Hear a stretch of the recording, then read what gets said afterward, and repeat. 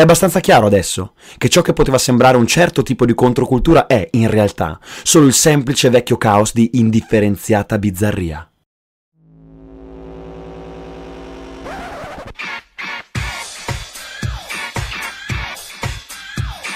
Dire cose radicali in forma conservatrice è controcultura. Questa radio è controcultura, voglio parlare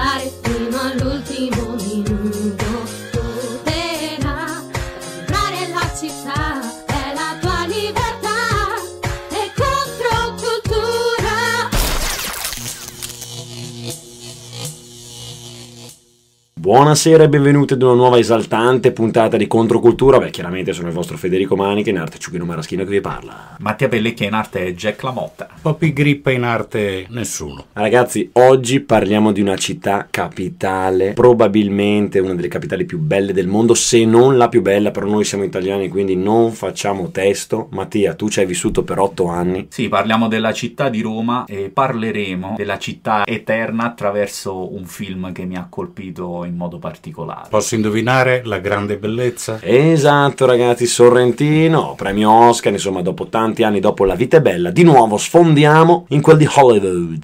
A questa domanda, da ragazzi, i miei amici davano sempre la stessa risposta, la fessa. Io invece rispondevo, l'odore delle case dei vecchi. La domanda era, che cosa ti piace di più veramente nella vita? Ero destinato alla sensibilità, ero destinato a diventare uno scrittore, ero destinato a diventare Jepp Gambardella. Ragazzi, insomma, se qualcuno di voi non avesse visto il film, stiamo per fare degli spoiler. Attenzione, girate canale. Se invece volete saperne di più, chiaramente il nostro Jeff Gambardella, un rampante rampollo napoletano, si trasferisce a Roma e inizia a far fortuna grazie al proprio libro L'apparato umano. E io con molta gratitudine vi starò ad ascoltare perché purtroppo non posso farci niente. Il film me lo sono perso, mi riprometto di rivederlo al più presto, però a questo punto la mia curiosità si fa sempre più vivida. Vai avanti Jack, per favore. Jepp Gambardella, dopo aver scritto L'apparato umano, non ha più scritto altri libri, non solo per la sua pigrizia,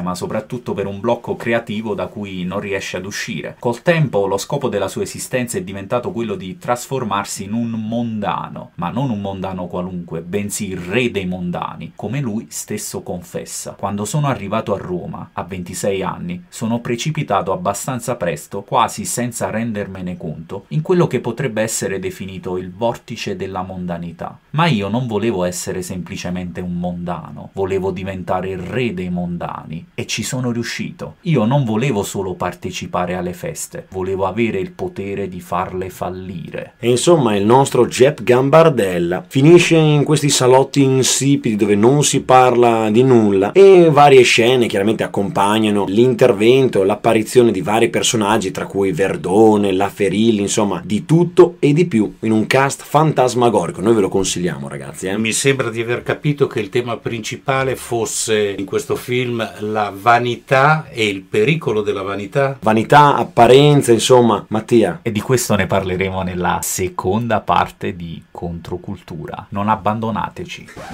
È la tua libertà, è controcultura.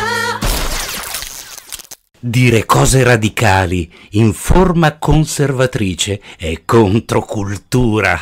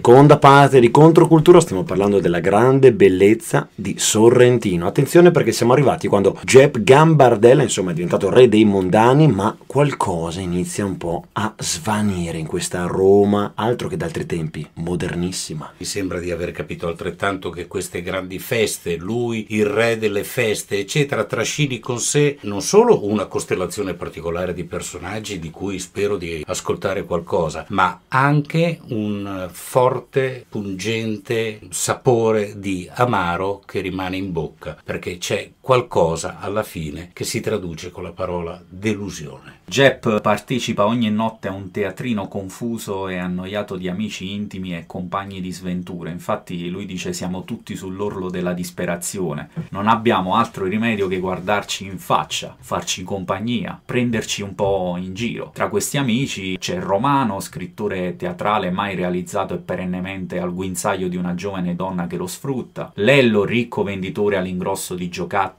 dalla parlantina sciolta e marito infedele. Viola, facoltosa borghese e madre di un figlio affetto da gravi problemi psichici di nome Andrea. Stefania, egocentrica scrittrice radical chic. Dadina, la direttrice nana del giornale su cui Jep scrive. Con molta tristezza devo dire che purtroppo ho vissuto alcuni momenti milanesi, non romani, in certi salotti dove questo sentimento aveva un grosso spessore, ci si guardava in faccia con grande noia e con grande frustrazione interna. Ma perché Poppy? Perché sostanzialmente si cercava solo di passare il tempo tra vizi e lazzi senza concludere niente. Le serate finivano con la tristezza dell'alba. Ma questa vita vuota, fatta di feste mondane a cui Jep partecipa, viene interrotta, travolta da un evento particolare. Quale evento? Una mattina, tornando da uno di quegli insipidi salotti, incontra il marito di Elisa, che un tempo era stata il suo primo e probabilmente unico amore. L'uomo lo attende davanti alla porta di casa per annunciargli, piangente, che Elisa è morta, lasciando dietro di sé solo un diario chiuso da un lucchetto, che l'uomo ha violato, in cui la donna narra dell'amore mai perduto verso Jep. Ragazzi, questa era la seconda parte di Controcultura, per tutto il resto non vi rimane che rimanere con noi.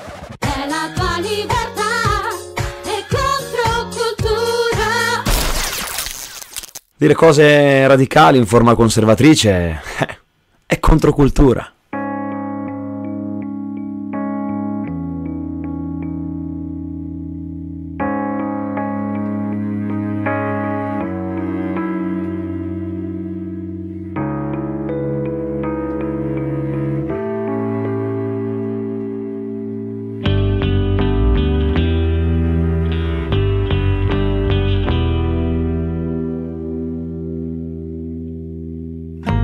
Vittime, carnefici,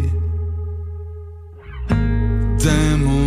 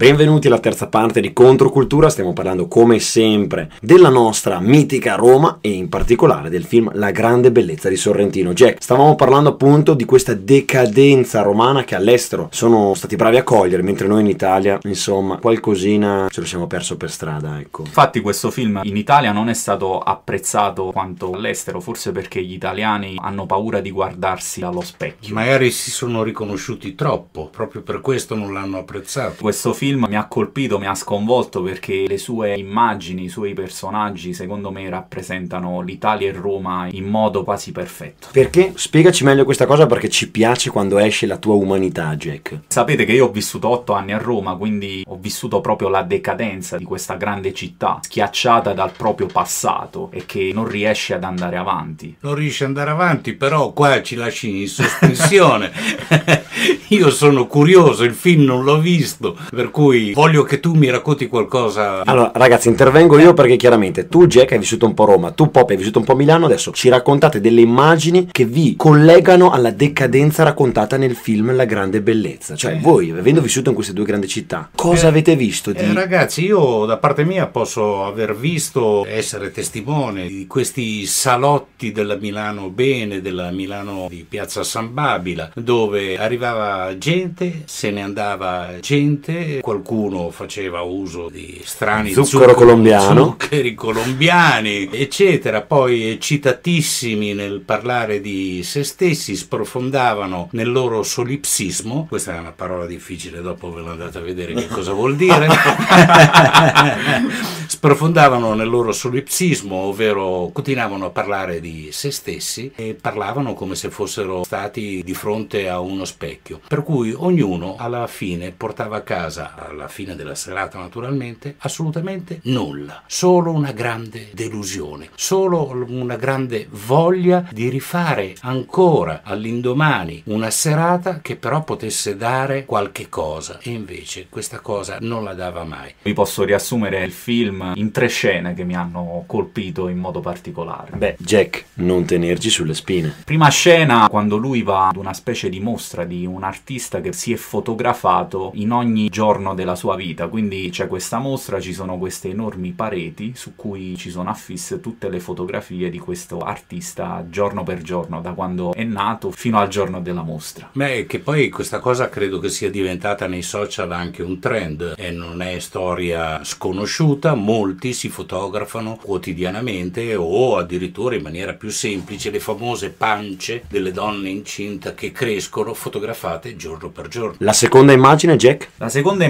quando lui, dopo una di queste solite feste mondane, chiama il custode delle varie residenze, case nobiliari, che praticamente dispone di tutte le chiavi, appunto per accedere a queste proprietà, e lui con il personaggio interpretato da Sabrina Ferilli va in giro per Roma di notte e vede tutta questa appunto grande bellezza, questa eredità lasciata dalla millenaria storia di Roma, si percepisce anche la profonda decadenza. Arriva ad un certo punto in una sala in cui a lume di candela ci sono queste ricche vecchie che giocano a bridge, a carte, incuranti di tutte le proprietà che hanno, come se avessero perso proprio la percezione della vita, il contatto con la vita reale, la vita moderna. E la terza immagine, Jack, ma soprattutto ti rivedi in qualcuno dei personaggi di Sorrentino? Ti dico prima la terza scena e poi ti dico in quale personaggio mi rivedo. La terza scena è proprio appunto eclatante, salotto mondano, si parla del più e del meno, ci sta una delle amiche di Jep, la tipica sessantottina, che si fa sviolinate sulla sua vita. Poi Jep, scocciato, la smaschera, le fa capire che la sua vita è tutta fallimentare. Questo personaggio rappresenta proprio la classe politica e dirigente dell'Italia odierna, ovvero gli ex sessantottini che erano dei contestatori all'epoca, ma che sono diventati come coloro che contestavano e che non lasciano spazio ai giovani di oggi. Infatti lei inizia il discorso parlando in maniera dispregiativa dei giovani di oggi che non hanno voglia di far niente e che se ne vadano all'estero. Tristissimo questo, io nel 68 c'ero, avevo 18 anni e ho verificato poi nel tempo che questi, come li hai definiti tu,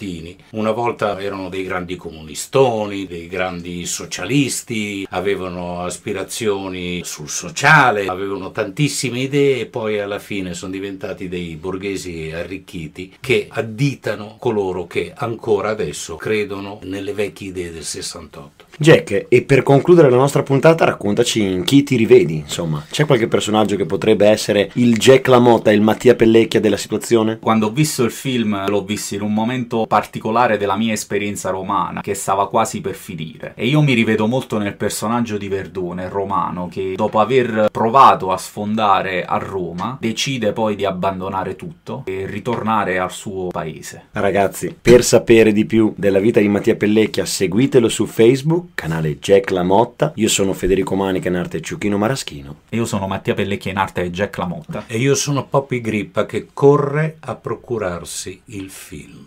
Ragazzi, champagnino. È la tua libertà e controcultura. Dire cose radicali in forma conservatrice e controcultura. Mi manchi tu, la fantasia,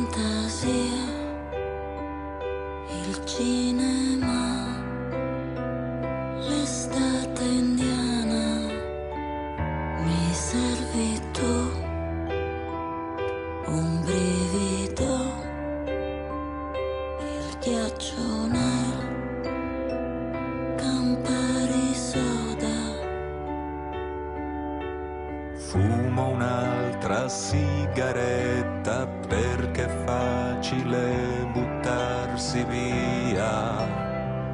Respiro e scrivo